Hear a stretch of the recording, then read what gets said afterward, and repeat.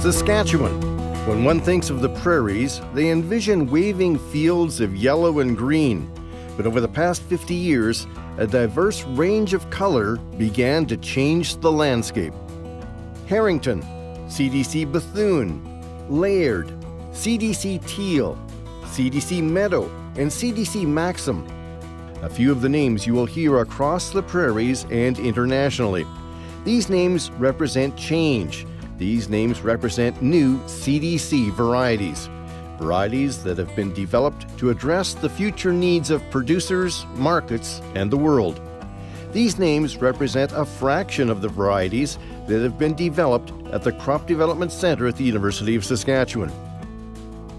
The Crop Development Center was established in 1971 with a mandate to improve economic returns for farmers and for the agricultural industry of Western Canada.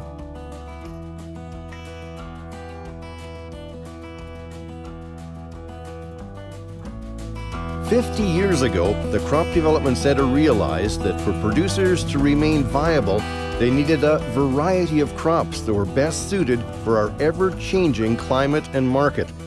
With such a dependence on commodity prices, market fluctuations, and the weather, producers couldn't afford to have all their eggs in one basket. It was clear to us at the time, because it was a very small department, we were not able to service the needs to the extent that they should be for this province. And yet, half of the arable acreage in the country is right here in Saskatchewan. So we were simply not able to service that need. So there were really two things we wanted to do. First of all, to increase the uh, amount of research that we were doing for the crop industry of Saskatchewan.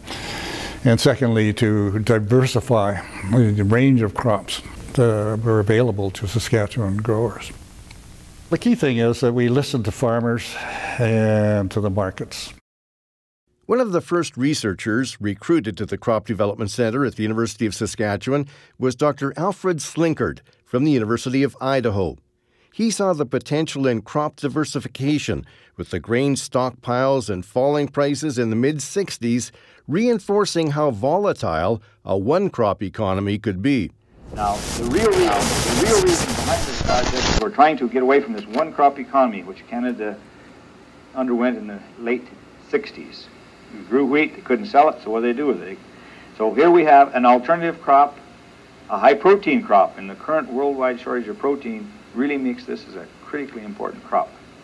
And I think that you're going to see if we attack this from a, a coordinated effort from all angles, we can sort of push this program as a unit and make peas into an economic entity for the prairie provinces. The CDC has enhanced existing crops, developed new crops, and created novel uses for traditional crops. The CDC's impact on both Saskatchewan and Western Canadian agriculture has been huge. The CDC elevates Saskatchewan's reputation as an internationally recognized leader in research and bioscience. The CDC has a long history of improving crops, finding new uses for crops, and developing new crops to improve the economic returns for producers and the industry.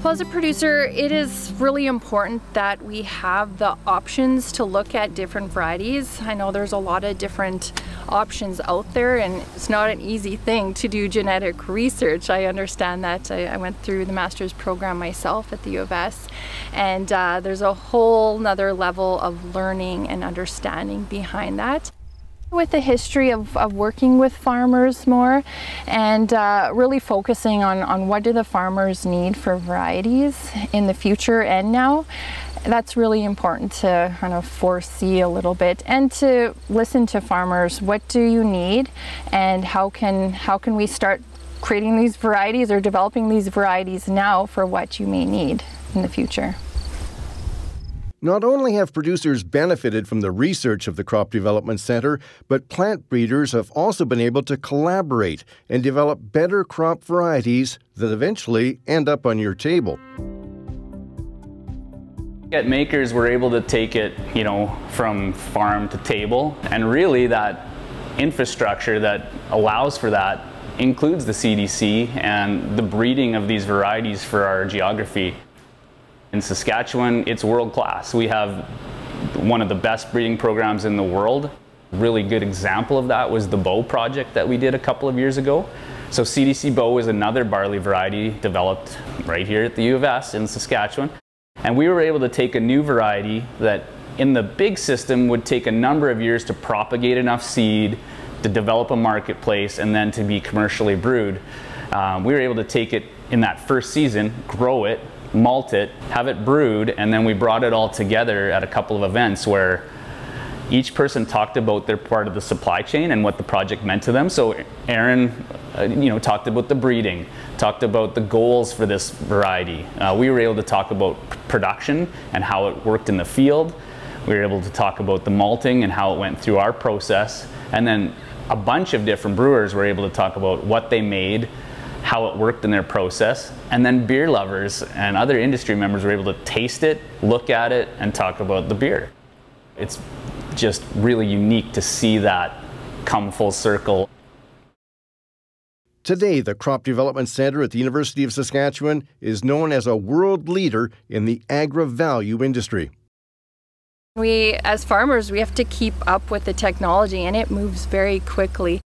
We have to be able to kind of foresee what we might need in the future for agriculture. And so it's really important to have organizations like the CDC to be helping farmers out. The CDC is unique in a very positive way, and I think its foundational strengths are really the vision of the province of Saskatchewan through the Ministry of Agriculture and the University of Saskatchewan to me, that's been foundational to their success.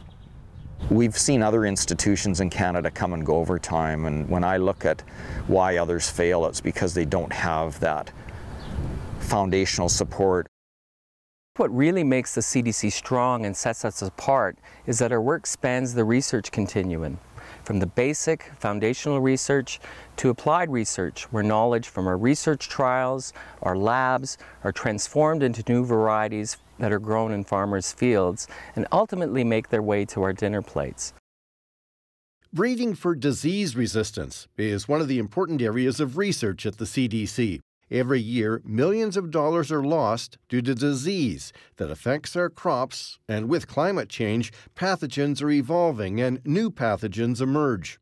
To improve the quality of our lives, protect our ecosystem, ensure the sustainability of food production, and preserve natural resources for future generations, identifying new sources of disease resistance is critical.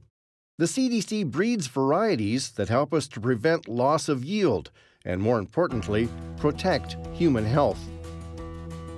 Equally important is the CDC's focus on improving the end uses, nutritional quality, and creating new uses for existing and emerging crops. The Crop Development Center researchers assess nutrition, flavor, quality, and enhanced health promoting properties, all with the aim of exporting the highest quality product to meet the needs of the world. So much of the food that you eat is coming directly from the great work that's being done at the Crop Development Center. From the wheat that goes into the pasta or bread that's in your cupboard, to the chickpeas or in your hummus or the lentils in your curry, all of those varieties were developed here at the Crop Development Center. And when you're driving through the countryside, um, many of the crops that you see growing in the field were developed right here at the Crop Development Center we owe them a great debt in terms of, of, of, gratitude for the work that they do in developing varieties that really do feed the world. Over the past five years, CDC scientists have led or contributed to sequencing the genomes of 10 different crop kinds, making us a world leader in the application of genomic technologies to crop improvement. We are developing innovative forage varieties to feed a growing livestock sector and new varieties tailored to a growing demand for plant-based diets. The research and breeding activities at the CDC are essential to meet the demands of a hungry and growing world while responsibly caring for our environment. Equally important to the college is the CDC's commitment to teaching, training, and outreach by a dedicated team of teacher scholars. The CDC values collaborations, impact, and integrity we bring diversity and perspective while providing financial strength to our college, our partners, and beyond. The Crop Development Center at the University of Saskatchewan, a world-class crop improvement center that delivers crop genetics for society.